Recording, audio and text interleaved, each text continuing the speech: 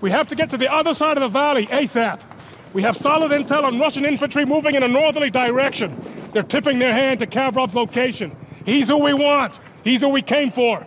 We're bounding across to the next checkpoint. Understood?